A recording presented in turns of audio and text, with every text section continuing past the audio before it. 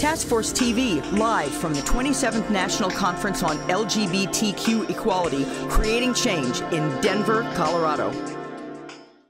It's Task Force TV here at Creating Change 2015 in Denver, the National Conference for LGBTQ Equality. I'm hanging out with Evangeline Weiss. She's with the Racial Justice Institute, an all day extravaganza here at the start of Creating Change. You guys have been pretty busy today, haven't you? Yes, we have been working hard. We've had um, people of color and white people and multiracial and mixed race folks talking about how to bring a racial justice lens to the work that we do in the LGBT movement.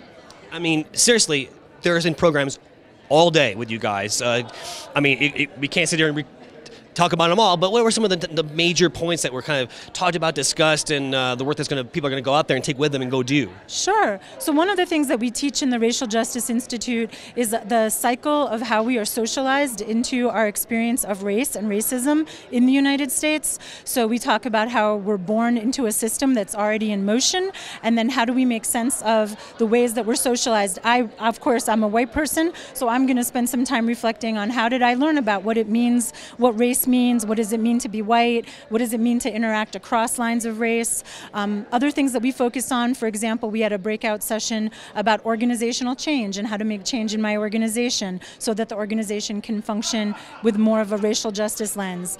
We had a breakout session about race in trans and genderqueer communities and how race plays out there. Um, there are a lot of times spaces where race can become a very black-white con conversation, and so we try to create space for multiracial people and biracial people to also have a voice and to also be able to talk about what it means to have um, mixed heritage. So those are some of the kinds of things that we work on. And explain how important this is because really, I mean, let's just look at the headlines over the past year. I mean, this is something that affects the whole country. Absolutely. Um, the task force has been really committed to um, lifting up the issues around the murders of uh, trans women of color in particular. But with all of the violence that we're seeing in the LGBT community, I think it's really important for um, not just people of color violence, but also for white folks to be able to understand, like, what, what can I do in my organization? What can I do in my community to raise the awareness about the violence that we're seeing. Um, so I think it's really important, and there's actually a lot happening at Creating Change this year to put the focus on race. So the Racial Justice Institute happens every year, and this year we had twice the numbers that we've had in the past. So we had close to 800 people in the room today, which was amazing. The, that means one in five, one in four participants at Creating Change is someone who went through the Racial Justice Institute. And let's face it, your All Day Institute kicked off the festivities this week here at Creating Change, and everyone, the, the, the organizers were amazed. Like everyone turned up the first day to take part. Yeah, we had a really full room. We have a 22 person training team of folks who represent lots of different gender expressions and lots of different racial identities.